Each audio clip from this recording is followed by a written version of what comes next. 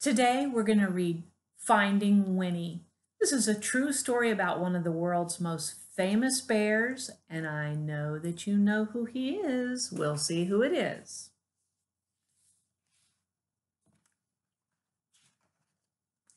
Finding Winnie, the true story of the world's most famous bear.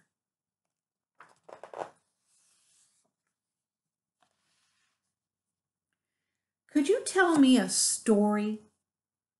asked Cole. It's awfully late. It was long past dark and time to be asleep. What kind of story? You know, a true story, one about a bear. We cuddled up close. I'll do my best, I said.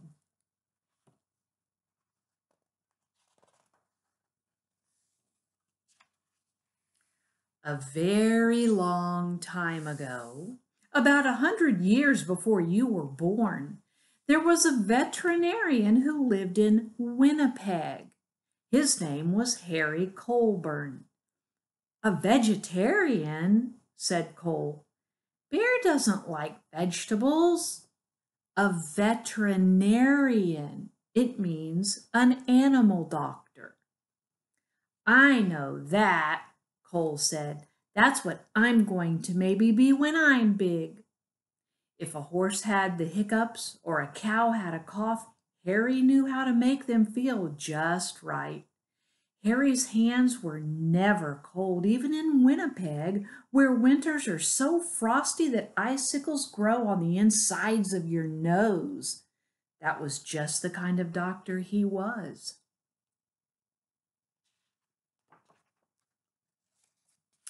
But a day came when Harry had to say goodbye to Winnipeg. There was a war far, far away, beyond the end of the country and on the other side of the ocean, and he was going to help. He would be caring for the soldiers' horses. Harry rode east on a train full of other soldiers. He leaned his head against the window, watching the land scroll by, wondering what it would be like to be so far from home.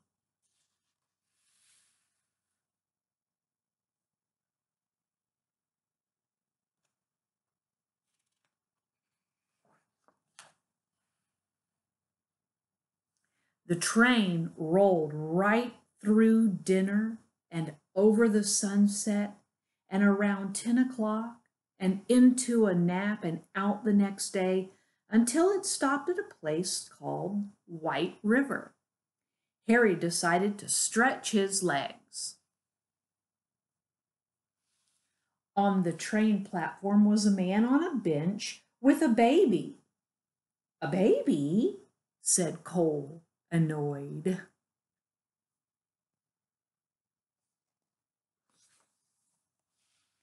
A baby bear, a cub. Harry stopped. It's not every day that you see a bear cub at a train station. That bear has lost its mother, he thought, and that man must be the trapper who got her. What do trappers do? asked Cole. It's what trappers don't do. They don't raise bears. Raise them? You know, I said, love them.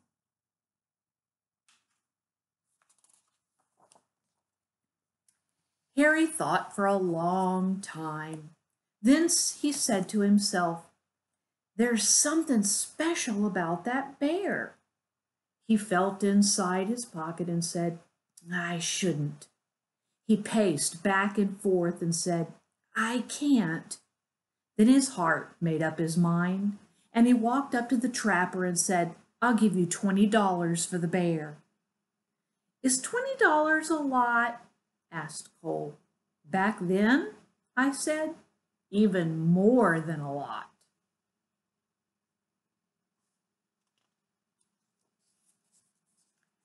Captain Colebourn, said the colonel on the train, as the little bear sniffed at his knees.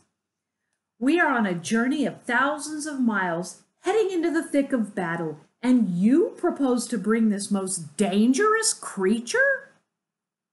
Bear stood straight up on her hind legs as if to salute the colonel.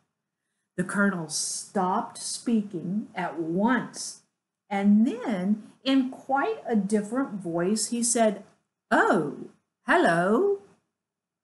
The men of Harry's regiment squeezed by to have a look.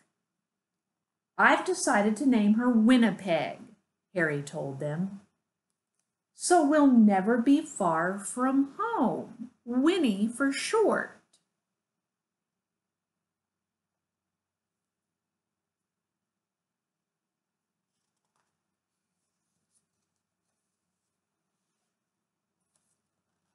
They had a very long way to travel, and they had already gone three or four feet when Gr- Winnie grew hungry.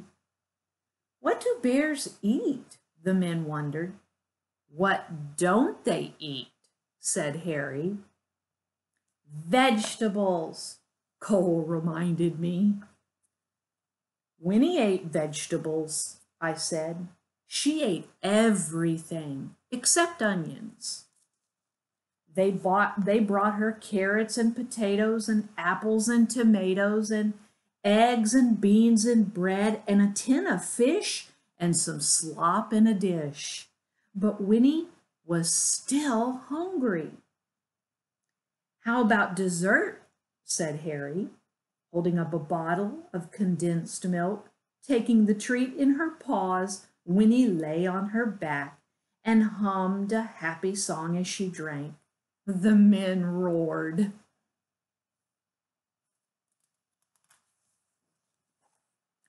Harry and Winnie gathered with soldiers from all over Canada in the green fields of Valcartier. A whole city of tents had sprung up there. One was a hospital for horses, where Harry went to work.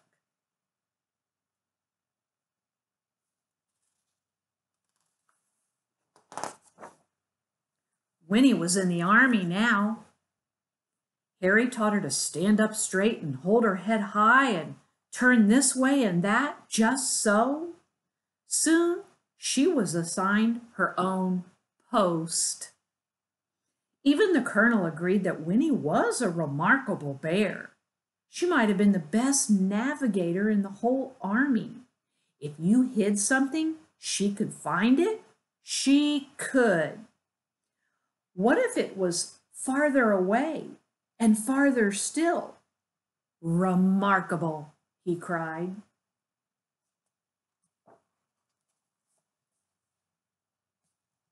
In the evenings, both of them were too tired to move.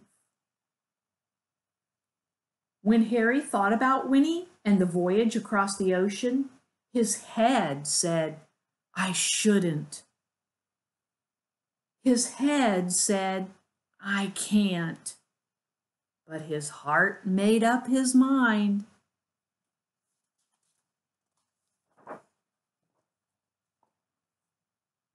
Nobody had ever tried to float so many people and animals across the Atlantic Ocean before. 30 ships sailed together, carrying about 36,000 men and about 7,500 horses, and about one bear named Winnie.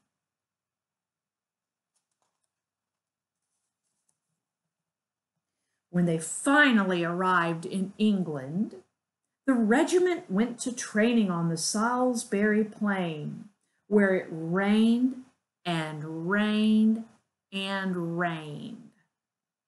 But Winnie didn't seem to mind. She was the mascot of the 2nd Canadian Infantry Brigade, and she attended her post with vigor. One day, Harry came running while she was doing her exercises in the tent. You'll bring the whole place down, he said with a laugh. She had grown.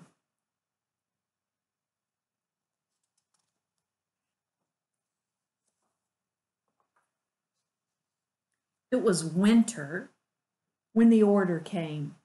The time had come to fight. Winnie posed proudly with the men for pictures to send home to their families. Harry thought for a long time. His head argued one way and then the other, but his heart made up his mind. He went to Winnie and said in a serious way, There's somewhere we need to go. Winnie brushed the mud off her nose and nuzzled in close.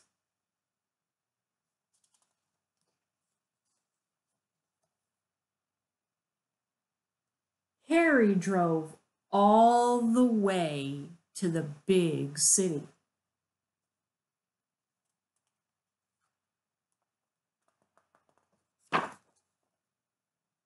Here we are, said Harry.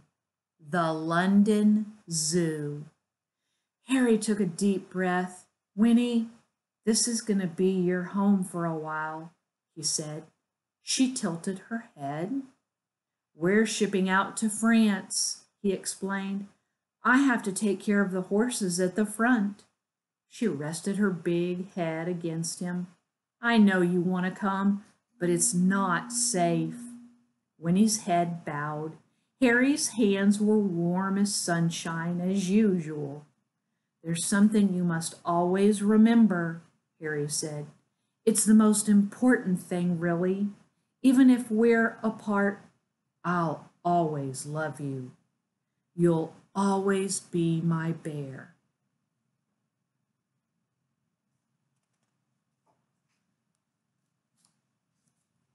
Is that the end?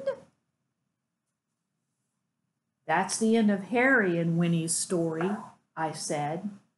But I don't want it to be over, said Cole. Sometimes, I said, you have to let one story end so the next one can begin. How do you know when that will happen?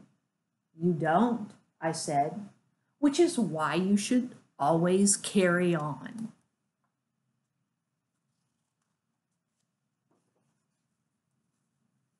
Once upon a time, there was a little boy with a stuffed bear. He'd had his bear ever since he was a baby, but somehow the boy had never found the right name for him. He'd tried Teddy and Edward and even Big Bear.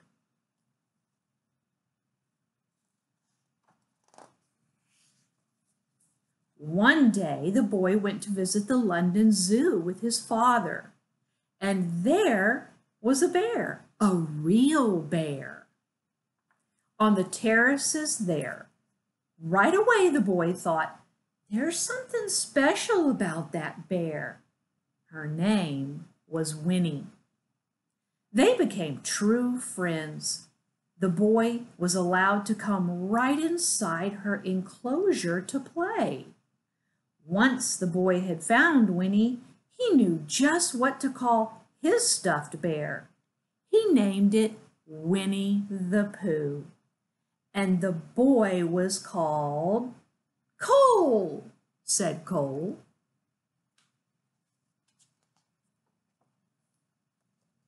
His name was Christopher Robin Milne.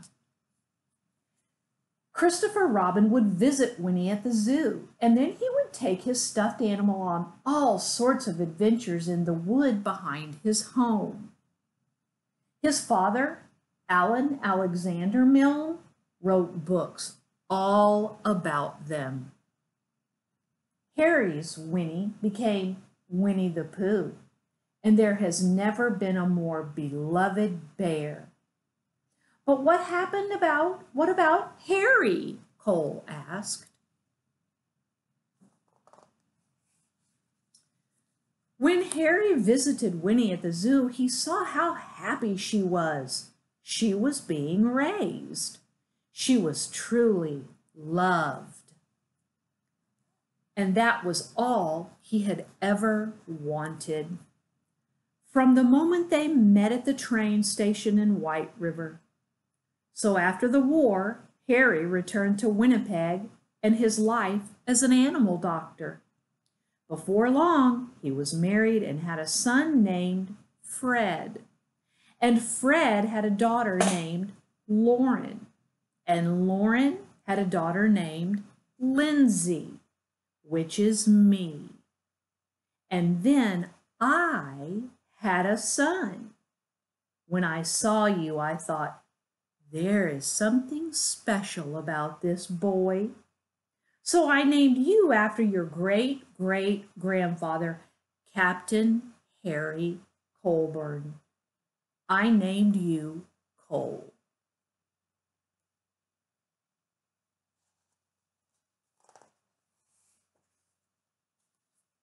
That's me, said Cole in a whisper. That's you. And that's Winnie? Yes, I said, that's Winnie. And it's all true? Sometimes the best stories are, I said. Cole's eyes grew big and he said nothing for a long time. Then he hugged his own bear close and let out a yawn that reached far away, and they both turned over and fell asleep. Let's look at some of the pictures in the album. Now remember, this is a true story. This is the real Harry Colebourn as a young soldier. And he's the one who bought the little baby bear from the trapper. The baby bear was later discovered by Christopher Robin Milne and was the bear behind all the stories of Winnie the Pooh. Here's a little diary, a journal that Harry kept throughout World War I, and this was the first diary from 1914, the first year of the war. The diary page from the day Harry found Winnie on August the 24th, 1914, he wrote, Bought bear, $20. It's kind of hard to see, but it is here. Bought bear, $20. Not sure if you can see that or not. Might be a glare.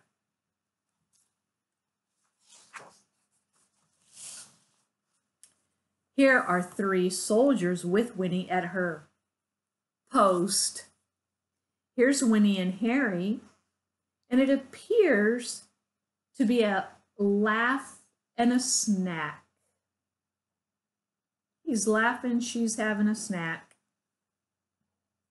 Here's Harry and his fellow soldiers with their mascot, Winnie. Winnie is in Harry's lap. Here's a picture of Winnie and Harry, and it inspired the statue that now stands in Winnipeg, which is in Canada, and London. So there's the picture, and then they made a statue of Harry and Winnie. You can see one if you go to Canada, and you can see one if you go to London, England.